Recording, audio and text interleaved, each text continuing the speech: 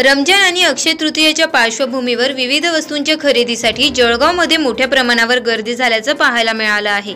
कोरोनाच्या पार्श्वभूमीवर त्याचा प्रसार रोखण्यासाठी राज्य सरकारने अत्यावश्यक सेवा वगळता पंधरा दिवसांसाठी निर्बंध लावले आहेत.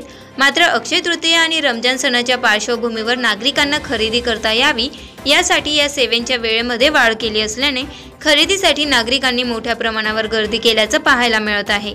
जळगाव शहरात तर अक्षरशः जत्रेचं रूप आल्याचं पाहायला मिळालं.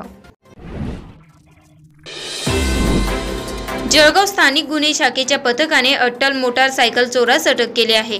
अटकेतील चोरट्याने जळगाव शहरातील पंधरा मोटारसायकल चोरीचे गुन्हे कबूल केले असून ते उघडकीस आले आहे. M I D C police Thane हद्दीतून सहा जिल्हा पेठून सात जळगाव शहर पोलीस स्टेशन एक शनीपेठ पोलीस स्टेशन एक अशा प्रकारे त्याने शहरातून पंधरा दुचाकी चोरल्याची कबुली दिली असून त्याने चोरलेल्या सर्व दुचाकी हस्तगत करण्यात आल्या आहेत. इंधन दरवाढी विरोधात राष्ट्रवादी महिला काँग्रेसच्या वतीने जळगावात आंदोलन करण्यात आले. पेट्रोल डिझेल व गॅसच्या दरवाढीच्या विरोधात मोर्चा काढून केंद्र सरकारचा निषेध नोंदवण्यात आला. केंद्र सरकारने इंधन दरवाढी मागे घेतली नाही तर जन आंदोलन छेडू असा इशारा यावेळी देण्यात आला आहे.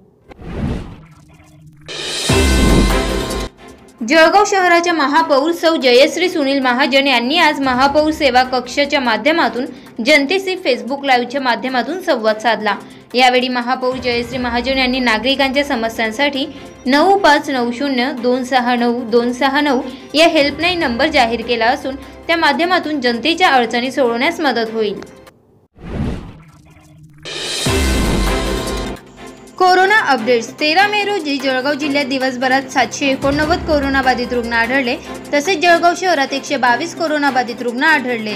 तर आज कोरोनातून आठशे सोळा रुग्ण बरे झालेत.